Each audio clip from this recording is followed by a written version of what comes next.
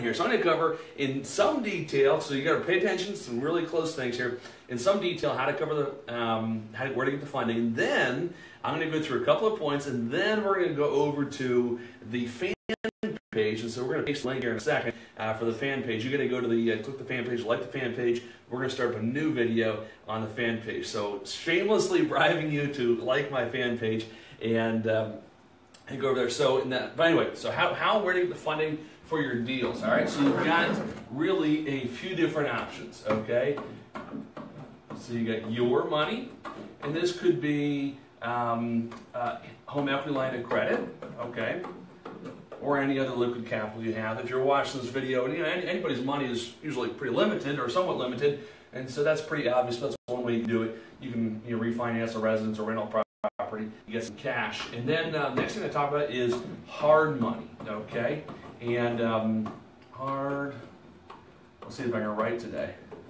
Hard money, and then we're going to talk about private money. And I'm going to show you how to do private money, how to get private money. And this is super cool. And this money is, uh, in my opinion, the best, but we'll go over some pros and cons of each here. Um, so we're going to go over this one on the fan page video. So your money, that's pretty obvious, I'm not spending time there, and hard money for your deal. So what is a hard money lender? A hard money lender is simply somebody who's in the business of lending money, uh, in this instance for the purpose of real estate deals.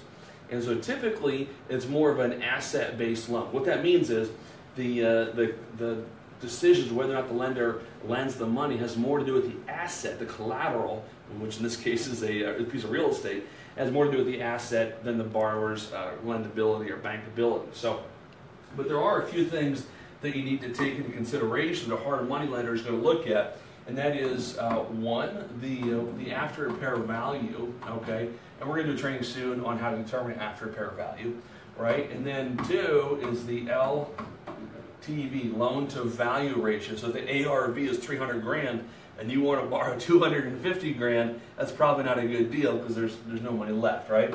The next thing that they're going to look at is the um, repair figure, okay, repair amount, and you know it's a whole every whatever uh, hard money lender is really looking at is how risky is this deal. By the way, one of the best hard money lenders in the area is uh, Ian Walsh with Hard Money Bankers. Uh, he's, uh, he's a really cool dude and uh, great to work with. I've got lots of members of the RIA who borrow money from him. Really cool dude. Anyway, so repair amount, you know, if, if you've got to put $200,000 of work into this project, right, then the hard money lender is going to want to be a whole lot more conservative in terms of how much they're willing to lend on the project, the LTV, and uh, maybe the rates they're going to charge, okay?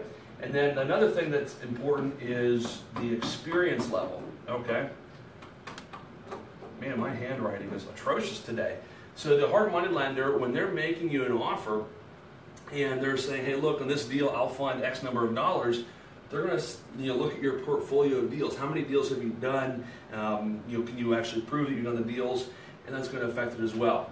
Um, so in terms of what a hard money lender is looking for is they want also, and Ian Walsh, a hard money bankers, he'll go with more info, but what he's also really interested in is also uh, your other liquid funds, right? In other words, if this deal goes south, can they actually get their money back, right? Um, so liquid funds, you know, maybe a line of credit or savings or anything like that, that's pretty important as well.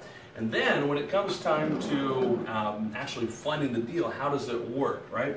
So to borrow hard money, you typically need to have, um, you need to put skin in the game in terms of the upfront, skin in the game. Um, in terms of like, say, say you're going to borrow um, $150,000 on a $250,000 ARV property. So say you're buying it for 100 and um, you're putting in a $50,000 rehab, right? Out of that, they're probably going to want you to put in out of the $100,000 purchase probably about 20 grand of your money up front, okay? Next is in terms of draws, you're going to need to fund some of the draws, okay? So let's say your first draw to your contractor is $10,000, all right? You're going to need to do the work, fund that out of pocket, and then when they demonstrate, they can, when you can demonstrate, prove the work's been done, then you get reimbursed for draws, okay? Another thing they do sometimes is they'll do a, um, I forget what it's called, but um, you basically set aside a year's worth of interest when you when the, at the when the loan gets originated. Okay, So you got, uh, say, uh, you know, 12 monthly payments of $1,000, like $12,000 put in escrow, which is your interest money for the duration of the loan, right? Uh, another thing that they uh, often want to do is they charge what's called points. This is interest reserve, by the way. That's what that's called. Points. So let's say you're borrowing for easy math $100,000, right? Let's say it's 14% uh, annualized interest and uh, four points. So that's 14 and four is how it's called in the industry, right? So 14% interest, $100,000, what is this? $14,000 over the course of the loan. You're going to have a $14,000 interest reserve is funded out of the borrowed money when, when the deal is uh, set up at the beginning. Next to the four points, that's just a privilege of your being able to uh, borrow the money. That comes that so you're borrowing, you know, the hundred grand, right? But you're only getting 96, right? Because the four points you're paying. So you can see how these things really add up. But you know what? This is not free money. You've got to have some good amount of money to put into the deals. But think about it. So let's say a, deal is going to require forty thousand dollars in your capital, but because of the forty grand you have in the relationship to hard money lender, you've got access. You can leverage that and get another hundred or two hundred thousand dollars for a deal, it really enables you to scale and do more deals at a time as opposed to simply using your own money. So hard money lenders, it's not cheap, but I'll tell you what's most important when it comes to capital is not the cost, not the interest rates, but the availability of capital. So for Ian, hard money lenders, they can close in you know a couple of days. I mean, it's unusual. If you're pre-approved, the deal makes a lot of sense, et cetera, et cetera, they can close very quickly. I know they like to have more time than that. So anyway, uh, skin in the game, very important. Draws, they'll work that out with you. Interest reserve points. Uh, they're also looking now. Different lenders are different, and uh, one thing I like about hard money bankers is they'll actually they pretty much make an offer in every single deal that comes across their table, right? Uh, but they are going to look at and the rates that they quote you are going to determine your credit, um, your liquidity. Let's see if I can spell that one. I think I spelled that right. If you're not sure how to spell something on a marker board, you just like scribble. Works better. So credit, liquidity, um, your cash reserves, experience, like I said, uh, very, very important. Things they're, they're going to factor in when they make you an offer. They're going to quote you as to how much they'll lend on a certain deal and what the rates are going to be. Okay, so that's hard money loans.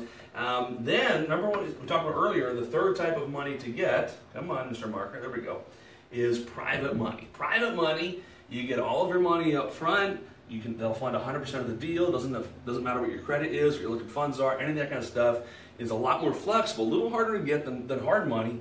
But once you've got it, it makes your life so much easier. So if you want to learn how to get the private money, and I'm going to spend about 10 minutes going into a lot of detail on this, then like my fan page because in about 30 seconds we're going to um, start, we're going to go through how to raise private money, really cool insights on that, just a lot of really cool tips you need to use. So like the fan page, in about 30 seconds, we're going to start a new video on the fan page on how to raise private money, how to work with private lenders, and some of the ins and outs of doing it. So go ahead, like the fan page right now, get on over there, and we're going to start the other video momentarily. So we're going to finish this one.